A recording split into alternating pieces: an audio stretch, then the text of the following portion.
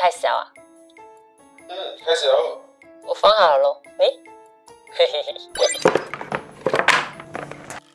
因为影片的关系，我已经把它放回去里面了。你们有没有看过这么薄的电脑盒子嘞？真的很薄哎！我刚才差点看，我以为是拿来装披萨。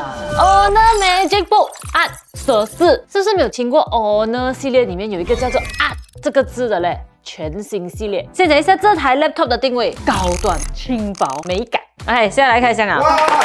耶，防御一百分！噔噔噔噔，哇，很好看的颜色，橄榄绿。我觉得它这个颜色哦，就是很低调，然后有一点复古的感觉。它的手感其实是很好的嘞，你听那个声音啊。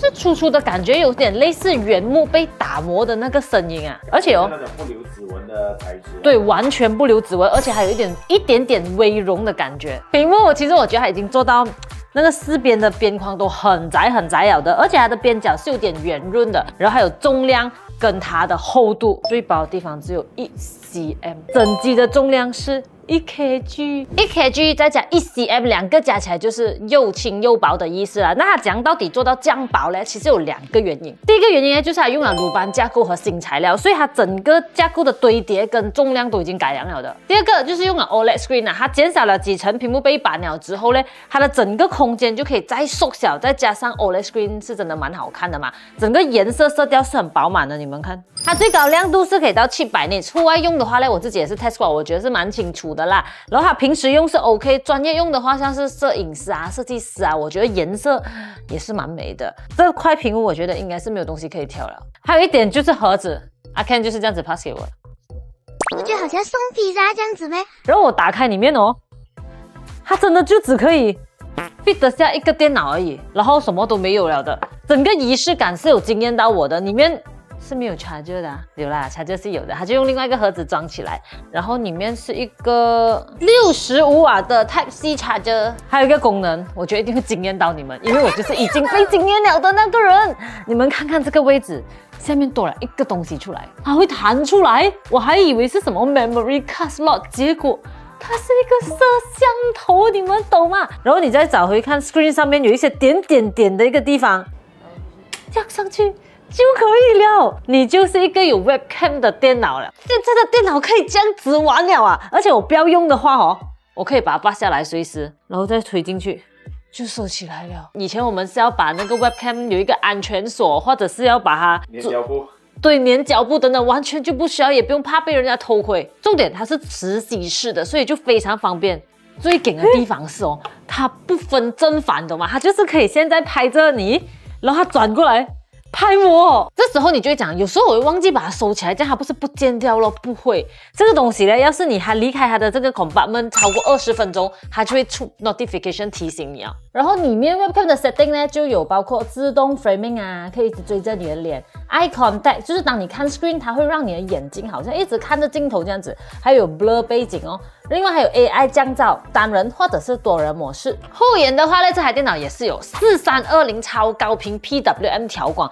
哦，那真的是我见过对护眼最极致的一个 brand 了。它从手机到平板到电脑，全部产品线都统一标准的，真的是很保护你的眼睛啊！差点忘了 Touchpad，我发现 Magic Book 啊，十四它的 Touchpad 哦是特别大的，大到哦，你看它直接到底部。哦不，它直接没有滴，而且我按下去哦，它是一个震动的感觉。普通电脑其实是按压感。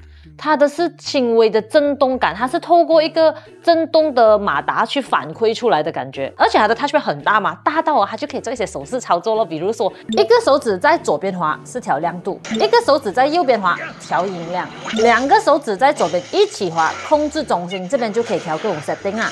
按最左上角 minimize 缩小，按最右上角是 close，还有一直以来都有的关节操作，一根手指扣两次 screenshot。两根手指扣两次是 screen record，哇，这次哦又有新的手势操作了啦，就很像 MacBook 的三个手指托，现在欧呢也是有了啦。三个手指轻轻扫，然后拖是可以 select 文字，然后也可以拖窗口，不需要两个手指一个拖一个按这样子，也可以拖文件。还有一点也是很值得称赞，这么薄的电脑，它竟然有 USB A，然后有一个三点五 mm 的耳机孔，还有 HDMI port。然后左边的话，一个 USB C 和一个 Thunderbolt 4的 C 口。关于 AI 上面呢，其实它之前是直接在 Taskbar 那边放一个 Windows Copilot 的按钮，但是它现在直接做一个实体键在那个 keyboard 那边，就可以问一些问题呀、或者是纹身图等等。而且现在还多了一个新功能，就是可以加 image。然后我就问他了，到底哪一个榴莲才是最好的？然后我在上面已经 mark 好了 number 了，看他会讲什么。到底哪一个是最好吃的榴莲呢？啊，他选了五号，他选了这里。然后现在我叫他帮我做一个 wedding invitation card 啦，看一下可以做什么东西出来。喂，做出来了，画我画我画我画我。喂，哪个是你？我不是卷毛的，每一个是我。那这个薄薄的电脑它的性能会是怎样呢？我们现在就来做一个小小的体现测试。先来简单写一下稿件，然后这时候再开几个 PPT，再开剪映剪 video，好像也没有问题，哦应付得来哦。而且你不要看它薄薄这样哦，它是有风扇的，小是小了一点啊，但是好过没有咯。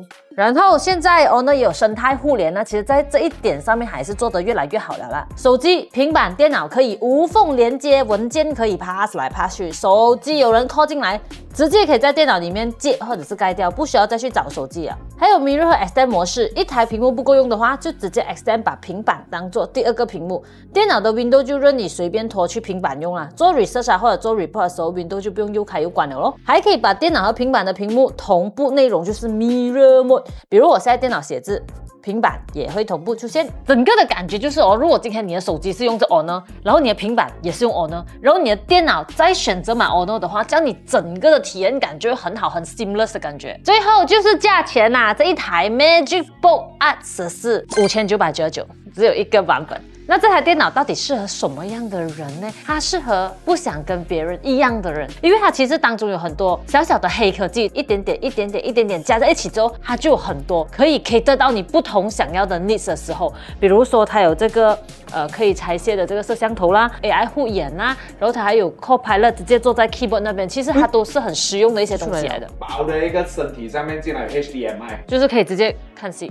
你看它怎样用 MacBook Air 的啊，旁边要吊一个好像尿袋一样子才能用 HDMI，这好笑了。其实我发现我也是一个呃 Windows 的人来的，我用了很多台电脑都是 Windows 的。虽然我有 iPhone，但是我自己真的是用不惯 Mac 的。对，反正我是用 Android，但是我喜欢用 MacBook。对，就是会有这样子的人，就是我们这种与众不同、不要人云亦云的人。对哦。OK，就是这样，今天影片到这边结束，我们下次再见，拜拜。